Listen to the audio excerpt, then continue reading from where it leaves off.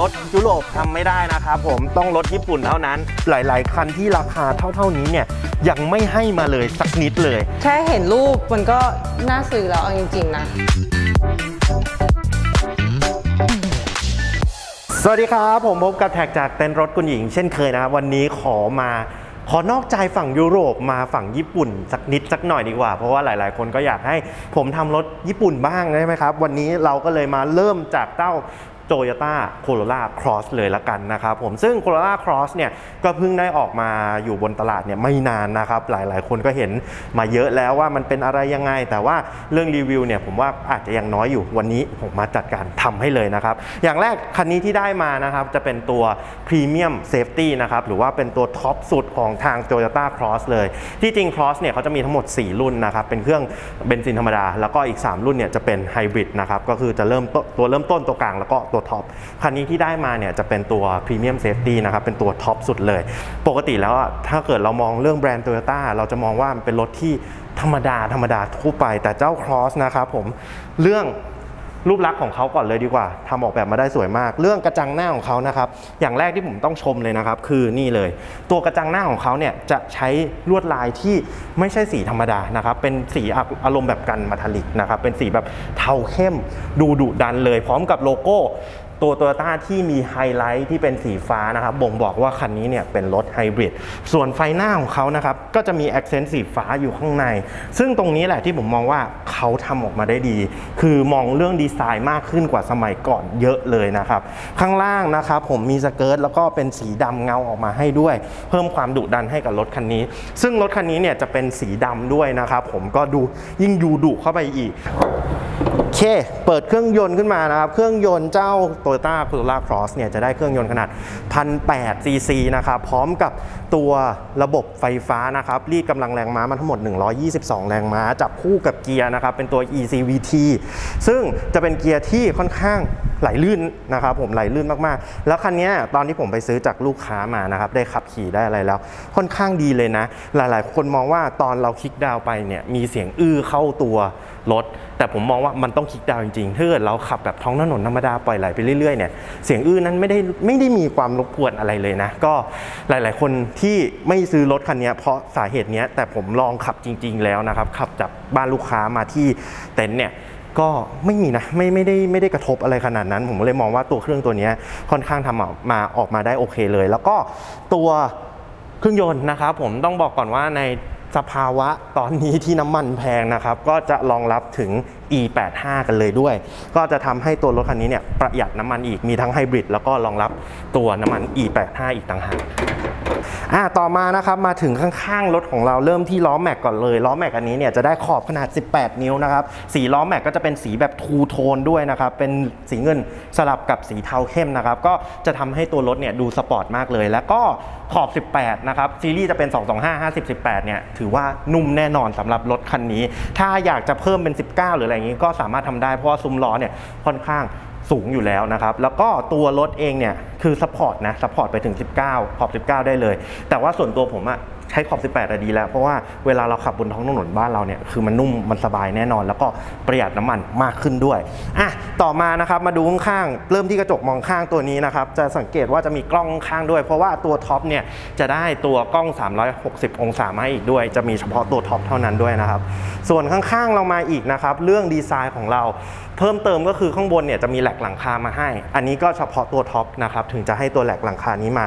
มีระบบ keyless นะครับผม keyless push start คือออปชันเนี่ยจัดมาให้แบบเต็ม ๆ เลย แล้วก็มีตัว blind spot assist มาให้ด้วย บอกเลยว่า รถยุโรปยังไม่ให้เยอะขนาดนี้เลยนะ แต่เจ้า Toyota Corolla Cross เนี่ยจัดเต็มเรื่องระบบ safety ระบบฟีเจอร์ที่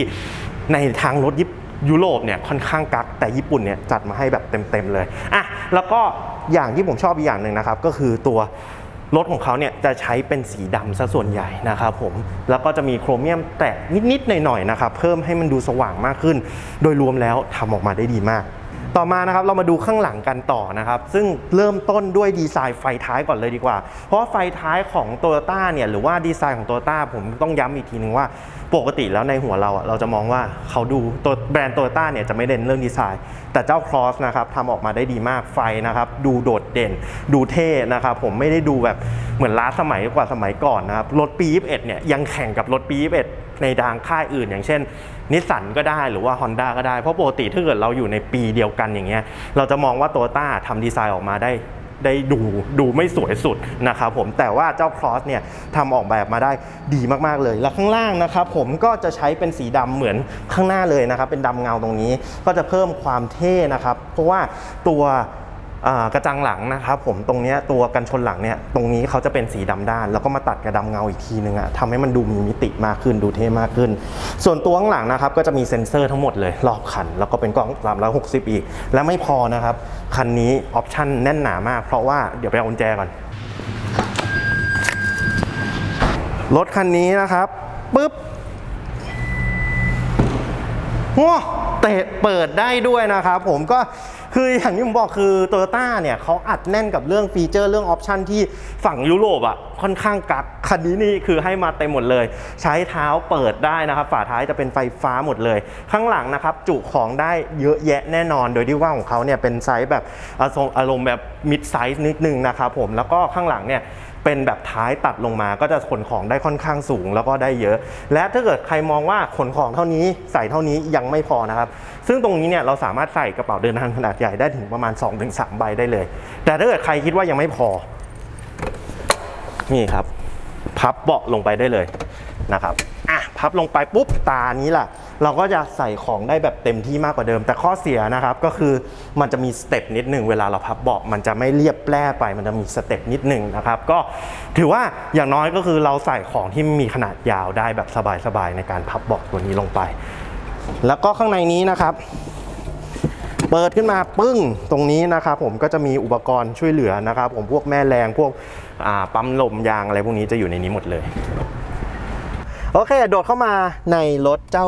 ตัว Toyota Corolla Cross คันนี้นะครับ ผมอย่างแรกที่อยากให้เห็นก็คือเรื่องดีไซน์ของเขาก่อนเลยดีกว่านะครับ ดีไซน์แดชบอร์ดข้างหน้าเขานะครับ ค่อนข้างทำออกมาได้พรีเมียมมาก ๆ นะครับ ไม่ว่าจะเป็นวัสดุที่หุ้มหนังนะครับ มีสติ t ชิ่งรอยเย็บอะไรพวกนี้ ครบครันหมดเลยนะครับ ผมไม่เหมือนรถญี่ปุ่นแล้วอะคือคุณภาพของเขาอะ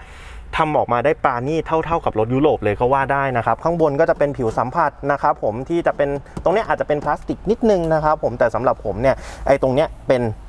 อ่าเขาเรียกว่าอะไร เป็นหนังนุ่มก็โอเคละข้างบนนี้นิดๆหน่อยๆ ถือว่าไม่เป็นไร แต่ว่าการ built-in นะครับ หรือว่าการประกอบของเขาเนี่ยแน่นหนาแน่นอนนะครับ เพราะว่าเนี่ยผมพยายามขยับเสียงก๊อบแก๊บก๊อบแก๊บอะไรก็ไม่มีเลยนะครับผม built-in มาได้ดีมาก ส่วนเรื่องดีไซน์นะครับอยากให้เห็นตัว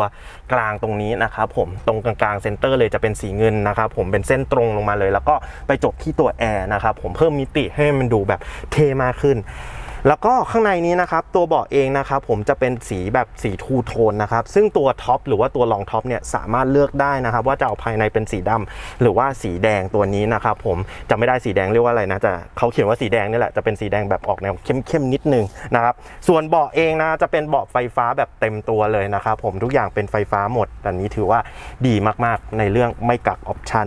ต่อมามาที่หน้าจอของเรานะครับหน้าจอเนี่ยก็จะมีไซส์ขนาดใหญ่เลยแล้วทุกอย่างนะครับเป็น touchscreen หมดเลยอันนี้จะเป็นหน้าจอแบบเบื้องต้นของเรา หรือว่าถ้าเกิดเรากดไปที่ตรงกลางตรงนี้นะครับ มันก็จะเข้าหน้าโหมดโหมดโหมดเมนูทั้งหลายแหล่นะครับผมซึ่งในโหมดเมนูเนี่ยก็จะมีพวกบลูทูธนะครับวิทยุมี Apple CarPlay Android Auto มาให้ด้วยนะครับผมยัดมาให้แบบเต็มๆเลย เสียบ USB ฟังเพลงได้ แล้วก็ที่ผมชอบนะครับ คันนี้มีมี Miracast ให้ด้วยนะครับสำหรับใครที่ใช้ตัวโปรแกรมนะครับสามารถ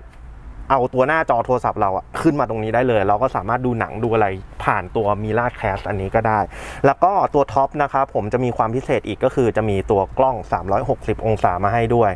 นี่แล้วผมที่ผมชอบนะครับ ตัวกล้อง 360 องศาเนี่ยเรายังสามารถดูแบบ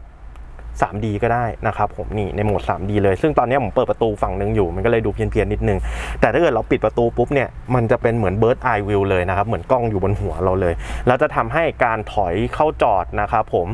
ง่ายต่อการใช้งานนะครับ แล้วก็จะมีกล้องข้างมาอีกด้วยสำหรับถ้าเราจะจอดแบบข้างทางอย่างเงี้ยครับ จอดริมฟุตบาทเนี่ย เราก็จะกะได้โดยที่ว่าล้อแม็กเราอะไม่ขูด อ่า ถือว่า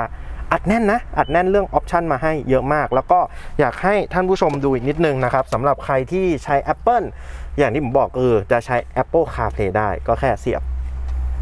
ปุ๊บเข้าไป แล้วก็เสียบโทรศัพท์มาบแค่นี้เลยนะครับ เขาก็จะบอกว่าให้ใช้ Apple CarPlay ไหมกดใช่ ใช่ อะโอเค มาเรียบร้อยแล้วนะครับ ตอนนี้ก็เหมือนเราใช้โทรศัพท์ในนี้เลยแอปทุกอย่างนะครับของไอตัว Apple ที่รองรับ Apple CarPlay ก็จะเด้งขึ้นมาในนี้หมดเลย และแอปที่สำคัญที่สุดในการใช้ชีวิตประจำวันของเราก็คือ Google Map เราก็ยังสามารถใช้ Google Map โดยที่ว่าทุกอย่างจากหน้าจอโทรศัพท์เราเด้งขึ้นมาตรงนี้เลย ใหญ่โตโมโหลานใช้งานง่ายนะครับผมสมมุติผมจะนำทางไปไหนดี not now แบบหนึ่งนำทางสมมุติหนมนำทาง ไปสยามอะ เราก็พิมพ์ไปเลยสยามตานี้แหละ มันก็จะพาเราไปแล้วตานี้เราก็ต้องไม่ต้องดูโทรศัพท์หรือว่าโทรศัพท์เนี่ยเราไว้ใช้ทำอย่างอื่นก็ได้ คุยโทรศัพท์อยู่เราจะได้ดูแมปจากผ่านตรงนี้ได้เลย ก็ถือว่าทำสองอย่างในตัวเครื่องเดียวกันได้เลยนะครับ อันนี้ก็ถือว่าออกแบบมาได้ดีมากนะครับสำหรับเจ้าโตต้านี้คือไม่กักฟีเจอร์เลยอัดแน่นมาให้ได้หมดเลย มาดูข้างล่างกันต่อข้างล่างตรงนี้นะครับก็จะเป็นแอร์ซึ่งแอร์นะครับก็จะเป็นแอร์แบบ Duo Climate Control ตัวแอร์นะครับสามารถปรับอิสระได้ทั้งซ้ายทั้งขวาเลยนะครับผมแล้วก็ยังสามารถ มีตัวไล่ฝ้าหน้าให้อีกด้วยนะครับสำหรับใครที่มีฝ้าหน้าหรือว่าฝ้าหลังเนี่ยมีค่อนข้างครบเลยคือ ฟีเจอร์ที่ที่หลาย ๆ คนต้องการนะครับในการ ใช้ตัวแอร์ในบ้านเราเนี่ยมีครบคันหมดเลย แล้วก็ให้มาเต็มด้วยไม่ได้กักด้วย ลงมาข้างล่างอีกนะครับก็จะมีพื้นที่ใส่ของหน่อยมีเกียร์ตรงนี้นะครับซึ่งเกียร์ก็เป็นเกียร์แบบขั้นบันไดใช้งานง่าย ๆ แต่ข้างบนนี้ก็จะมีโหมดนะครับจะมี EV โหมดนะครับ traction control นะครับสามารถเปิดปิดได้ แล้วก็ตัว drive mode นะครับผมจะเลือกได้ทั้งหมด 3 drive นะครับก็จะมี power นะครับผม e eco แล้วก็โหมด comfort ธรรมดาให้เลือกได้เลย แต่เวลาเราใช้งานจริงๆเนี่ยก็จะอยู่ประมาณ comfort นี่แหละจะขับง่ายสุดแหละและอีกหนึ่งฟีเจอร์นะครับที่สำหรับใครใช้รถยุโรปและอิจฉารถญี่ปุ่นนะครับคือการจอดแบบขวางได้ เพราะว่าตัวนี้เวลาเราจอดปุ๊บเนี่ยเราเข้า N ได้เลย ให้เขาเข็นได้เลยรถยุโรปทำไม่ได้นะครับผมต้องรถญี่ปุ่นเท่านั้น อันนี้ถือว่าสำหรับใครใช้รถญี่ปุ่นนะครับยิ้มได้เลยครับ เยาะเย้ยได้เลยครับว่าเราสามารถจอดข้างทางได้โดยที่ว่าไม่ต้องเข้า P ก็ได้นะครับ ต่อมานะครับมาดูเจ้าเรือนไมล์ดีกว่า เพราะเรือนไมล์ตัวนี้นะครับจะเป็นกึ่งดิจิตอลกึ่งแอนาล็อกนะครับคำว่าแอนาล็อกเนี่ยจะอยู่ฝั่งซ้ายมือสุดกับขวามือสุดนะครับซึ่งฝั่งซ้ายมือสุดเนี่ยโดยที่ว่าเขาเป็นรถไฮบริดนะจะไม่มีตัวรอบเครื่องแล้วนะครับ มันก็จะมีแค่ให้ดูว่าตอนนี้เราอยู่ในอ,อัตราการสิ้นเปลืองประมาณไหนนะครับ มีชาร์จ มี eco แล้วก็มี power นะครับ ถ้าเกิดเราเลี้ยงคันเร่งไว้อยู่ใน eco ตลอดเวลาเนี่ย มันก็จะทำให้การประหยัดน้ำมันของเราเนี่ยอยู่ในขั้นสูงสุดนะครับ หรือว่าถ้าเกิดเราอยากเร่งความเร็วเนี่ยมันก็จะไปอยู่ใน power mode ส่วนข้างขวามือสุดนะครับ ก็จะบ่งบอกตัวน้ำมันนะครับผมว่าตอนนี้น้ำมันเหลือเท่าไหร่แล้ว ความร้อนของตัวอุณหภูมิหม้อน้ำอยู่ที่เท่าไหร่นะครับร้อนไปเย็นไปจะอยู่ข้างขวามือกับซ้ายมือสุด ส่วนหน้าตรงกลางนะครับก็จะเป็นความเร็วของเราหรือว่าหลักกิโลของเรานะครับแล้วก็ กิโลเมตรต่อชั่วโมงเราจะอยู่ตรงกลางหมดเลย ซึ่งตรงนี้เนี่ยที่จะเป็นดิจิตอลนะครับ การเป็นดิจิตอลของเขาข้อดีคือเวลาเราปรับเปลี่ยนโหมดการขับขี่นะครับผมสีก็จะเปลี่ยนไปด้วย อ่า โอเค เป็นฟีเจอร์เล็ก ๆ น้อย ๆ ที่ทำออกมาได้ ให้คนใช้งานเนี่ยไม่น่าเบื่อนะครับ แต่ฟังก์ชันที่เด็ดจ๋ากว่านั้นนะครับ โดยที่ว่ารถคันนี้เนี่ยเป็นตัวท็อปสุดนะครับ เขาจะมีตัวระบบ Adaptive Cruise Control มาให้ นี่ เรากดใช้งานปุ๊บ อะ เรดาร์ก็จะขึ้นว่าเรดาร์ ready แล้วนะครับ ปรับได้เลยนะครับว่าเราจะชิดรถข้างหน้าเนี่ยมากน้อยแค่ไหนนะครับ ในการใช้ adaptive cruise control นะครับ และไม่พอนะครับเขาจะมีตัว lane departure keeping ให้ด้วยสำหรับการที่ถ้าเกิดเราขับรถนานๆเนี่ยกลัวว่าเราจะเซออกไปเลนคนอื่นนะครับ ตัวนี้เนี่ยจะมีตัวเตือนแล้วก็ดึงเรากลับมาให้อยู่ในเลนของเราด้วย แล้วมี blind spot assist มาให้อีกคือ สุดนะครับสุดคือตอนนี้ทุกวันนี้การใช้งานของเราอะมันอยู่ประมาณนี้แล้ว แล้วก็ตัวโตต้าเนี่ยให้ครบมาหมดในตัวท็อปตัวนี้ ซึ่งต้องบอกอีกนะครับในรถยุโรป หลาย ๆ คันที่ราคาเท่า ๆ นี้เนี่ยยังไม่ให้มาเลยสักนิดเลย อันนี้คือให้อัดมาแบบเต็ม ๆ เลยนะครับ กับฟีเจอร์ทั้งหลายแหล่ที่ผมบอกไป แล้วก็รถคันนี้นะครับ โดยที่ว่าเป็นตัวท็อปเนี่ยก็จะมีตัว Adaptive High Beam Assist มาด้วยนะครับผมในการให้ตัวไฟหน้าของเราเนี่ยใช้ได้เป็นแบบเต็มแบบ เต็มประสิทธิภาพเลย และนะครับผมเพิ่มเติมคือรถคันนี้นะครับมีหลังคาแก้วให้อีกด้วย เพราะว่าจะมีเจ้าเจ้าตัว Premium Safety เท่านั้นนะครับผมหรือว่าตัวท็อปเท่านั้นเนี่ยจะได้หลังคาแก้วให้อีกโอ้โหคือคุ้มอะในราคาที่ออกป้ายแดงมาล้านสองนะครับผมว่าทีเด็ดอะ ในล้านสองเราได้เยอะแยะขนาดนี้คุ้มค่าต่อการใช้งานคุ้มค่ากับเงินที่เราเสียลงไปแน่นอนนะครับสำหรับเจ้า Toyota Cross คันนี้อะมาที่พวงมาลัยอีกนิดนึง เพราะพวงมาลัยตัวนี้ก็จะเป็นพวงมาลัยแบบ multi-function นะครับ ฝั่งซ้ายมือก็จะควบคุมมัลติมีเดียของเราทั้งหลายแหล่นะครับ เพิ่มลดเสียงรับสายโทรศัพท์อะไรพวกนี้จะอยู่ฝั่งซ้าย ส่วนฝั่งขวามือนะครับผมหลักๆก็จะเป็นตัว Adaptive Cruise Control นะครับผมก็จะมาเซตอยู่ที่ multi-function ข้างขวามือ ตัวปัดน้ำฝนนะครับ ทุกอย่างออโต้หมด ไฟหน้าเปิดปิดออโต้หมดออโต้ทุกอย่างเลย อันนี้ถือว่าดีมากๆโอเคเข้ามาข้างหลังเจ้าโคโ o ล่าครอสกันดีกว่านะครับผมอย่างแรกเรามาดูพื้นที่ข้างในเลยดีกว่าว่าสามารถนั่งได้หรือเปล่านะครับผมสูงประมาณ 173 หนักประมาณ 85 นะครับ ความสูงเนี่ยแน่นอนเหลือ คืบหนึ่งคืบใหญ่ ๆ เลยด้วย คืบยาวๆเลยนะครับผมบนหัวเนี่ยเหลือแบบสบายๆเลยนะครับ ส่วนข้างล่างเท้านะครับผมพื้นที่ก็ยังสามารถแบบยืดไปได้สุดเลยนะครับ ก็ยังเข้าไปอยู่ข้างในนั้น ถือว่าทำได้ดีนะ เพราะว่าเนี่ยพื้นที่เหลือเยอะเลย เข่านะครับ โดยที่ว่าอันนี้ผมชิดไปข้างหน้าเกินไปนิดนึงนะครับ ที่จริงมันจะลงมาสั้นกว่านี้หน่อยแต่ว่ายังเหลือพื้นที่เยอะแยะเลยนะครับทำให้เจ้าโค o ล่าครอสอันนี้เวลานั่งข้างหลังนะครับ สบายแน่นอน แต่ว่าถ้าเกิดนั่งไป 5 คนล่ะ ห้าคนก็ได้นะครับ ผมแต่อาจจะกินพื้นที่เท้าไปอีกนิดนึง เพราะว่ามันจะมีตัวนี้ขึ้นมาหน่อยๆนะครับผมแต่ว่าไม่ใช่เป็นอุปสรรคในการนั่ง 5 คนแน่นอน ถือว่ารถคันนี้เนี่ยไป 5 คนได้แบบโอเคเลยนะครับ แล้วข้างหลังนะครับมีแอร์มาให้ด้วย มีที่ชาร์จแบต2รูมาให้นะครับ จะเป็นตัว USB Type USB Type USB ธรรมดานะครับยังไม่ใช่ Type C เป็น USB ธรรมดาให้มาข้างหลัง แล้วข้างๆนะครับ มีที่วางแก้วให้ 2 ฝั่งเลย เจ๋งดี และข้างตรงนี้จะมีอะไรมาให้ไหมแงะมาอะมีที่วางแก้วให้อีก 2 อัน คือข้างหลังมีที่วางแก้ว 4 อันนะครับ นั่งเต็มที่ 2 คนกินน้ำ2แก้วเลย โอเค ฝั่งละ 2 ข้าง ก็ถือว่าอัดแน่นมาให้มาก แล้วก็มีตัว a n c h o r Isofix มาให้นะครับ ผมสามารถวางคาซีได้อีกด้วยข้างหลังนี้ ใครมีบุตรหลานนะครับ เพิ่งเกิดใหม่แบบเบาะนี่สำหรับเจ้า Corolla Cross ผมว่าก็น่าจะคุ้มค่าเลยนะ เพราะว่าข้างหลังสั่งใส่ตัวคาซีได้แบบสบายๆเลย แล้วข้างหน้าเนี่ยนั่งสบายอีก แล้วก็ตัวรถอะมันภูมิฐานนะ มันเป็นโตโยต้าคือมันเป็นรถญี่ปุ่น เราจะมองว่ารถญี่ปุ่นก็งั้นแหละ แต่สำหรับผมอะ เจ้า Cross เนี่ยทำออกมาได้แบบภูมิฐานมากๆ เบาะเบิดทุกอย่างคือ นั่งนุ่มนั่งสบาย โอเคเลยพรีเมียมเลยข้างบนนี้หลังคาก็ใช้เป็นสีดำเป็นหลักนะครับผมเพื่อจะให้ตัวรถเนี่ยดูเท่มากขึ้นดูสปอร์ตมากขึ้น และย้ำอีกนะครับ ตัวนี้ให้หลังคาแก้วมาด้วย เพราะว่าเป็นตัวท็อปก็จะมีหลังคาแก้วตรงนี้สามารถเปิดปิดได้เลยนะครับผมแล้วก็มีม่านบังแดดให้อีกสำหรับใครที่ถ้าเกิดขับบนท้องถนนแล้วรู้สึกมันร้อนนะครับ ก็ปิดไปได้เลย ก็ถือว่า ทุกอย่างที่เจ้า Cross ทำมาให้นะครับ ใช้งานได้หมดครบทุกอย่างแน่นอน แล้วก็อัดมาแน่น ๆ เลยสำหรับฟีเจอร์อันไหนที่เราไม่ได้ใช้นะครับเขาก็ตัดออกอย่างเช่นแบบเขารู้อยู่แล้วคนไทยคงไม่ใช้เบาะอุ่นหรืออะไรอย่างเงี้ยก็ไม่ได้มีมาให้ แล้วก็ไม่ได้จำเป็นด้วยนะครับผมสำหรับรถยุโรปหลาย ๆ คันที่มีมาให้ ผมก็ไม่เข้าใจทำไมไม่ตัดออก แล้วก็เอาอย่างอื่นเข้ามา แต่เจ้า Cross เนี่ย เอาทุกอย่างที่เราใช้งานจริงๆเนี่ยมาอยู่ในตัวรถคันนี้จริง ๆ เลยอะถือว่าทำออกแบบมาได้ดีมากนะครับ และเดี๋ยวเรามาฟังราคากันดีกว่าว่าเท่าไหร่โอเคก็จบไปแล้วนะครับสำหรับรีวิวเจ้า Toyota Cross คันนี้นะครับ แล้วก็เป็นตัวท็อปสุดเลยเป็นไงบ้างชอบไหมส่วนตัวผมอะคือเรารีวิวรถยุโรปมาเยอะเยอะเยอะจนแบบชินไปแล้ว แล้วเรามาเจอรถญี่ปุ่นที่เป็นปีใหม่ ๆ อย่างเงี้ยมันว้าวนะ คือ first impression ผมรู้สึกว่าเฮ้ยรถญี่ปุ่นเนี่ย มันมาขนาดนี้แล้วหรอ แล้วเฮ้ยออปชันอะไรที่เขาให้มา มันได้ขนาดนี้แล้วหรอ แล้วราคาที่ในในราคาที่อาจตีเป็นป้ายแดงก่อนล้านสองสำหรับรถคันนี้เนี่ยอยู่ที่1ล้าน1 9 9 9 0 0เนี่ยเฮ้ยมันได้ขนาดนี้เลยหรอมันคุ้มนะนะครับมันคุ้มนะแต่มาอยู่กับเราเนี่ยมันเป็นมือสองแน่นอนนะครับผมและรถคันนี้เนี่ยจะเป็นรถปี 2021 นะครับ วิ่งมาเพียง 9,000 กว่ากิโลเท่านั้นเองนะครับ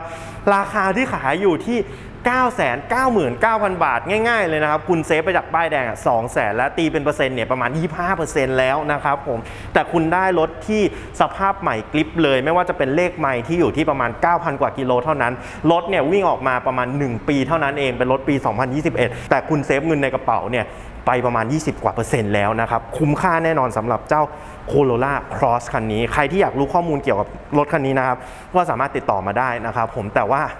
ได้ข่าว ได้ข่าวว่ากำลังจะมีคนเข้ามาดูรถคันนี้ ไม่รู้จะจบเลยหรือยังไง ถ้าจบเลยอะไรยังไงนะครับ เดี๋ยวผมถ่ายคลิปวิดีโอต่อเนื่องให้เลยละกัน แต่ตอนนี้ ถือว่ารถคันนี้ยังไม่จบนะครับ ก็มาขายกันก่อนเลยละกันเนาะก็ใครที่อยากได้ ข้อมูลรถคันนี้เพิ่มเติมก็สามารถติดต่อมาได้เลยนะครับผมแล้วก็ใครที่อยากจะขายรถนะครับไม่รู้จะไปขายที่ไหนนะครับสามารถติดต่อมาได้เช่นกันนะครับที่เต็นท์คุณหญิงกับช่องทางที่ผมแปะไว้เลยนะครับก็ฝากตรงนี้ไว้ด้วยละกัน แล้วใครใครที่ชอบคลิปนี้นะครับหรือว่าอยากให้ผมทำรถยุโรป หรือว่าญี่ปุ่นรถรุ่นไหนๆนะครับสามารถ แปะมาได้เลยนะครับผมหรือว่าคุยกันมาในคอมเมนต์ได้เลยว่าเอ้ยพี่ลองรีวิวคันนี้หน่อยถ้าเกิดผมมีปุ๊บเนี่ยเดี๋ยวผมรีวิวให้ทันทีเลยก็ฝากตรงนี้ไว้ด้วยละกันนะครับสำหรับวันนี้เดี๋ยวผมขอตัวลาไปก่อนไปอัดไปอัดคลิปต่อเนื่องเลยดีกว่า แล้วก็ไปนอกสถานที่ด้วย จะเป็นรถอะไรนะครับ เดี๋ยวรอติดตามชมแล้วกันสำหรับวันนี้ผมขอตัวลากันไปก่อนเจอกันใหม่คลิปหน้านะครับ สวัสดีครับ โอเคครับผมที่ผมบอกไปว่าจะมีคนเข้ามาดูรถนะครับ นี่ก็มาดูเรียบร้อยแล้วก็ไม่ใช่ใครหน้าไหน พี่สาวผมเองว่าตอนแรกที่จริงอะโตโยต้าครอสคันนี้ไม่ได้อยู่ในโผพี่ผมเลยว่าจะใช้งาน หรือว่าจะซื้อใช้หรืออะไรยังไง แค่บอกเฉยๆว่าอ้าวมีรถเข้ามานั้นลองมาดูไหมเผื่ออยากอยากลองใช้อยากลองซื้อใช้ ก็เลยมาลองปุ๊บเอาปั๊บเลยนะครับก็ทำให้คันนี้ต้องขอไปด้วยขายเรียบร้อยแล้วนะครับ ขายให้ใครไม่ใกล้ ขายให้คนใกล้ตัวเองเนี่ยแหละช่วยไม่ได้ก็คือจริงๆรถ พี่สาวผมเอง แค่เห็นรูปมันก็น่าซื้อแล้วเอาจริง ๆ นะอะสดก็ใสถ้าเกิดพูดอย่างนี้เลย มาปุ๊บ ได้ไปลองรถ อยากจะอธิบายให้อธิบายดีกว่าว่าเจ้าโอเคโตต้าครอสเนี่ยมันเป็นอะอะไรยังไง เอ้ยมันโอเคไหมทำไมถึงตัดสินใจเร็วจังโอเคเออเพราะว่าที่จริงอะคันเนี้ยไม่ได้อยู่ในโผเลยไม่ตได้ออนยู่แรในกโผพี่เลยตอนแรกเเอาจริงๆพี่อะอยากได้ซีรีส์ X X BM BMX ซีรีส์ใช่อ่า X ซีรีส์ทั่วไป อยากได้เอิร์น SUV X1 X2 แล้วคืออะไรอย่างงี้แล้วคือพอเห็นคันเนี้ยเห็นในรูปตอนแรก เฮ้ยเฮ้ยมันมันก็ได้นะทรงมันได้ทุกอย่างโดยโฉบข้างหน้ามันแบบมีความสปอร์ตอะไรหลาย ๆ อย่างถูกไหมแล้วตอนไปลองแล้วตอนเป็นไง test drive เมื่อกี้เราไปกับลองกับพี่สาวอีกคนนึงอ่าแล้วแบบเฮ้ยลองขับเหยียบคันเร่งแล้วลองลองเหยียบเบรกแบบลองกระชั้นชิดดูดิ คือมัน smooth มากอ่าก็คือ smooth แบบ performance ไม่ได้แตกต่างกับใช่ที่เรากลัวว่าเฮ้ยไม่เลยซื้อรถญี่ปุ่นแล้วไม่ performance เลยมันจะ drop หรือเปล่าใช่อันนี้คือสิ่งที่อ่าพี่กังวลตอนแรกอ่าว่าแบบเฮ้ยมันเป็นรถญี่ปุ่นเอาเว้ยมันจะต่างกับรถมันต้องต่างจากรถยุโรปมากๆเลยอ่าเพราะมูลค่ามันใช่อ่าราคามันก็คนละราคาคนละคสรึ่งเต็ปต่อครึ่งเลยอ่าใช่ใช่แต่คือพอขับแล้วคือเทียบเท่ารถยุโรปได้เลยจริงๆก็คือโอเค ไม่ได้แตกต่างกันมากใช้ชีวิตประจำวันได้เลิศแล้วมากออปชันที่อยู่ข้างในอะไรอย่างนี้จริง ๆ เอาจริง ๆ เหมาะใช้ครบหรือเปล่า เอาจริงเอาจริงๆก็ใช้ไม่ครบหรอกให้มาเยอะเกินไป เออให้มาเยอะเกินกว่ารถยุโรปเลยด้วยซ้ำแต่อ่า เอาจริงๆนะ พี่ว่าคันเนี้ยเหมาะเหมาะกับพี่ตรงที่ว่าพี่เป็นคนที่ขับรถไม่ค่อยระวังด้วยอ่าสำหรัมับนผู้สูหญิงงมันที่สูงอะมันนิดสูนึงมันเซฟสำหรับผู้หญิงที่ขับรถแบบว่าสมบุกสมบัน อ่า ไปเที่ยวต่างจังหวัดหรืออะไรอย่างงี้ นี่คืออาคุ้มแบบ ฟูออปชั่นมากอ่าๆคือเราด้วยราคาด้วยแบบปีดมากจริง Cross ไม่ได้ใช้สำหรับผู้ชาย ใช้สำหรับผู้หญิงก็ถือว่าไปได้ใช่ดีเลยพี่ว่าดีดีเลยโอเค interior ข้างในเลิศแซ่บมากอ่จริง ๆ ก็ขายให้ใครไม่ขายขายให้พี่น้องกันเองนี่แหละเอาจริงๆ คือนี่คือบอกว่าไม่ได้มันต้องเป็นของพี่พอพี่แล้วเห็นแล้วมันก็ต้องเป็นของพี่โอเค แล้วอย่างอื่นมีอะไรแนะนำไหมว่าเอ้ยคนที่ ตอนแรกดูเพราะว่าบางหลาย ๆ คนคือมองรถญี่ปุ่น อ่าเวลามองรถญี่ปุ่นเออเวลามองรถยุโรปจะไม่มองรถญี่ปุ่นอ่าอะก็เลยอยากให้ไอเดียหน่อยว่าเอ้ยมันไม่ใช่ว่าเราขับแต่รถยุโรปมาแล้ว หรือว่าอืมใช้แต่รถยุโรปมาเราเราจะมาเอารถญี่ปุ่นอ่าไม่ได้อะไม่ได้ก็คืออยากอยากอ่า จะอยากจะให้พูดหน่อยว่าเอ้ยมันไม่ใช่ว่า เขาเรียกว่าอะไรอะคือเราเราเรามองแต่รถยุโรปอะลองเปิดใจใช่รถเอาญี่จปุ่นริงบ้างก็ได้ๆพี่อะอืม ไม่ได้มีความคิดเลยว่าจะมีโตโยต้าฮอนด้าอยู่ในหัว คือกูต้อง BM กูสาย BM กูสายเบนซ์กูสายเมอร์สอย่างเดียวแต่มาขับแต่แล้วจริงๆพอมาขับแล้ว เฮ้ย มันมันก็แตไม่แย่มันไม่ใช่ไม่แย่ มันไม่แตกต่างกันเลยนะอ่าเว้ยเอาจริงอ่าๆ interior ข้างในอะ ถ้าเกิดพี่มอง X X แบบ1ถึง3ไว้ อ่าอ่า พี่ว่ามันเทียบเท่าได้เลยไม่ได้แย่อะไรแตกต่างขนาดอนั้น option บางตัวพี่ว่าดีกว่าด้วย เหนือกว่า เยอะกว่า ใช่อันนี้ต้องยอมดีกว่าเลยเยอะกว่า แต่ได้ใช้ไหม ไม่ได้ใช้นะโอเค โอเคก็ประมาณนี้ก็ถือว่าขายแล้วนะครับคันนี้ขายขายก็ขายให้พี่สาวกันเองเนี่ยแหละจ้ะก็โอเคแต่ไม่สำหรับต้องห่วงว่าเดี๋ยวมันมีเรื่อยๆถูกไหม มีมาเรื่อยๆไหม ถ้ามีจะรีบ จะรีบลงให้เลย แต่ตอนนี้มีอยู่คันเดียวแล้วก็ขายไปเรียบร้อยแล้วที่จริงอะเป็นครอสคันแรกของเต็นท์คุณหญิงเลยด้วยนะ เพราะเต็นท์คุณหญิงไม่เคยซื้อ t o y ยต้าครอสมาเลย อันนี้ซื้อมาปุ๊บก็ขายปั๊บเลยแนะนำครับเลยค่ะสำหรับผู้หญิงที่ขับรถสมบุกสมบันทุกคนทุกคน ทุกคนเลยจริงๆ การเหยียบเบรกนี่เลิศมาก soft โอ้ soft มากชอบชอบตอนเหยียบเบรกชอบตอนเหยียบเบรกคือรู้เลยโอเคว่าไม่ชนคันหน้าแน่นอนนะคะ ได้เลยก็ฝากด้วยแล้วกันใครที่หารถอยู่ก็ติดต่อทางเต็นท์คุณหญิงมาได้นะ ไม่ใช่แค่รถยุโรปนะ หรือว่ารถซุปเปอร์คาร์รถญี่ปุ่นผมมีหมดเลย รถกระบะก็มีนะครับ คัดมาให้แบบพิเศษพิเศษแน่นอนมาซื้อที่เราไม่ต้องห่วงเรื่องเกี่ยวกับอ่าไม่ต้องไม่ต้องกลัวเลยนะครับผมเพราะว่า standard เต็นท์ค่อนข้างสูงอยู่แล้ว ลองเข้ามาดูกันใช่แล้วถ้าเกิดหารถญี่ปุ่นอะไรก็โทรมาสั่งกันได้นะ เพราะว่าเหมือนรถยุโรปแหละบางทีอย่างเนี้ยมันไม่ได้เข้ามากันบ่อยๆถ้าเกิดคุณคิดจะซื้ออยู่แล้วนะครับ สั่งเรามาไว้เลยก็ได้ แล้วถ้าเกิดมีเดี๋ยวเราโทรติดต่อกลับไปได้เลยนะโอเค ก็ฝากตรงนี้ไว้ด้วยแล้วกัน วันนี้ขอตัวเอารถไปทำให้พี่ก่อนแล้ว แล้วก็พาคันนี้กลับบ้านบ๊ายบาย